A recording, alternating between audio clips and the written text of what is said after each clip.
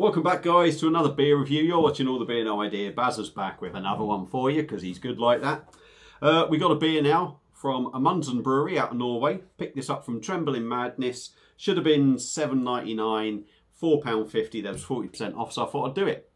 Now what I'll do is I'll tell you what the beer is first and then I'll give you some bollocks afterwards.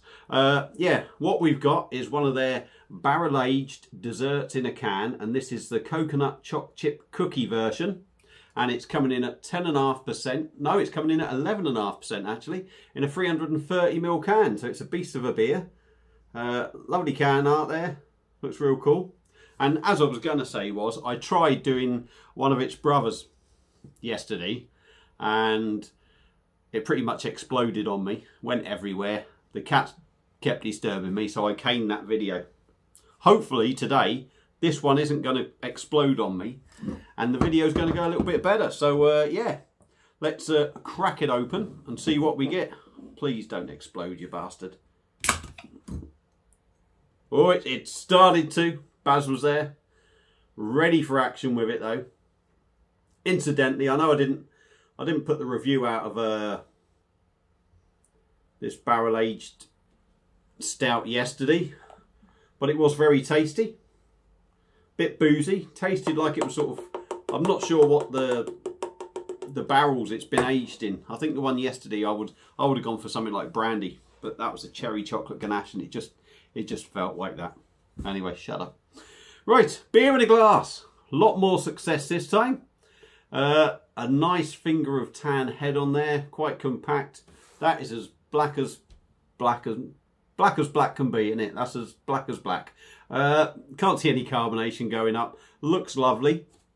So uh, let's give it a swirl. Dive in on the nose. I can only imagine this is going to be lush.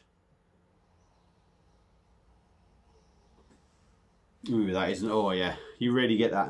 And, for once, I can actually really get the coconut in in a beer. I don't tend to pick the coconut up very well in beers, but you can really get it in this. And you get that chocolate chip. I swear in uh, chocolate chip cookies, there's sort of a coconut thing going on in there when you eat them and when you smell them, and you're really getting that in this. There is absolutely no sign of 11.5%. There's no sign of any alcohol. It just smells of cookies. Coconut, chocolate, and it's got that biscuity aroma in there, if you know what I mean. That you get, there's no sort of barrel age, uh, any any aroma of any sort of barrel age thing in there for me. So uh, without further ado, let's have let's have a successful review and dive in anyway. Cheers.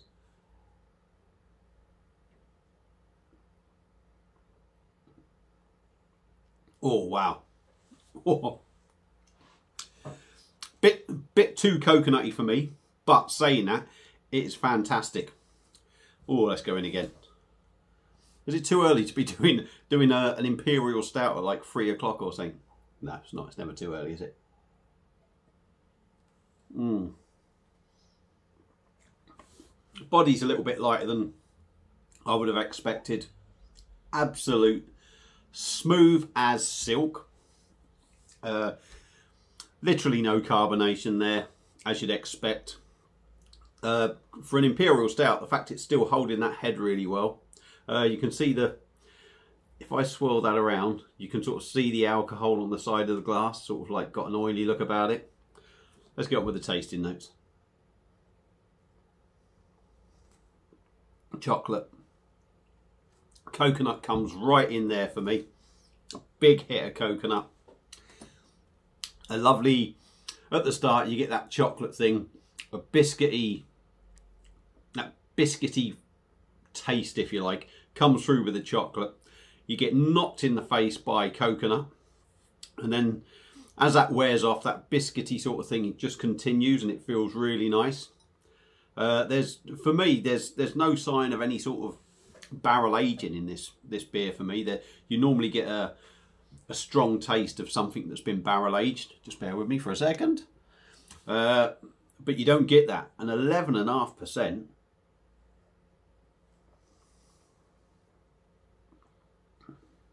is absolutely nowhere. absolutely nowhere. Uh, gets a little bit stronger on the back end, that sort of alcohol. You could call this 6%. You could call this 6%, maybe going up to about 7 on the back end. Uh, really, really nice beer. And if it wasn't so rich, so indulgent, I thought that had gone. if it wasn't so rich and indulgent, I think this would be seriously, seriously dangerous. But because it's quite rich, it's quite heavy, if you like, it's indulgent, sort of slows you down a little bit with it.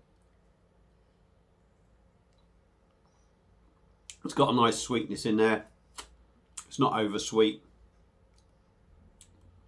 Back end, slightly bitter, maybe a little bit of an inkling of coffee in that bitterness there, but but yeah, that is an absolute belter. And I'll tell you what, anyone who's thinking of getting these, check out Trembling Madness, see if they've still got them. Because I tell you what, if you like coconut and chocolate chip cookies, you are going to like that. That is an absolute belter. Uh, does exactly what it says on the can and it gets a thumbs up from me. So uh, yeah, thank you all for watching. I'm getting a bit carried away here. Uh, if you've had it before, if you've had it before, let me know what you think. Feel free to comment. Uh, thank you all for watching. Hope you've enjoyed the review. This one went okay to a certain extent. Uh, and that's it. So I'll see you all again on another beer review. Cheers.